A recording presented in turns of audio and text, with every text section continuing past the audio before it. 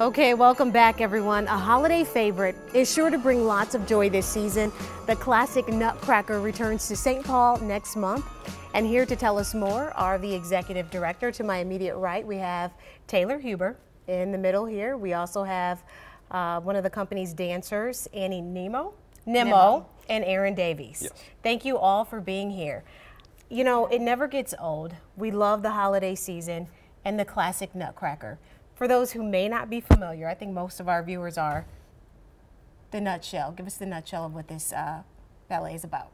It's about Clara's dream, or is it a dream? Um, she's transported into a fairy sugar plum land where she sees her Nutcracker prince, and it's just holiday spirit the whole time. You hear the music, you hear nostalgic, and just puts you in the holiday spirit.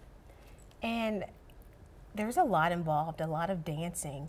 What does it mm. take to put on this type of production and how do you prepare? You have your ballet, your slippers? I do, yeah, I brought my pointe shoes. So um, this is a brand new shoe and it's hard and not sewn and you can kind of feel it and tell that it's like yeah, really hard. right there, the and then I have one that's used and I have sewn the tip of it, I've sewn the ribbons and the elastics on and it's a lot more flexible and dead. So, so obviously a lot of work. Yeah, just into sewing the shoes, it takes a lot of work, along with you know rehearsal and warming up and everything else we yeah. do. Aaron, how do you get ready? Um, usually I start with a two-hour class, and then uh, from there I spend about three to four hours a day just getting prepared for the shows itself. Oh wow! Yes. What do you want folks at home to know? What can they take away from this show?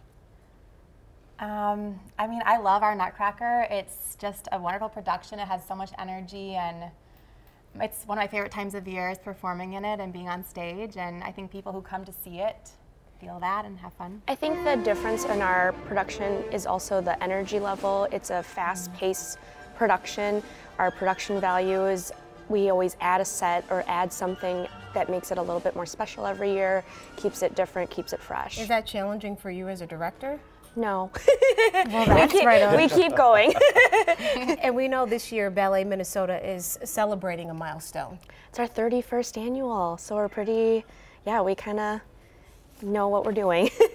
well, congrats to all of you. Thanks for being Thank here. You. We hope folks check out Ballet Minnesota's 31st annual production of the classic Nutcracker. It runs December 14th through the 16th and it's happening at St. Catherine University in St. Paul. Ticket prices range from $21 to 46 bucks with discounts for students, seniors, and groups. For showtimes and to purchase your tickets, you can call this number. It's 651 690 6700. If you missed it, don't worry, we've got you covered online. Still ahead.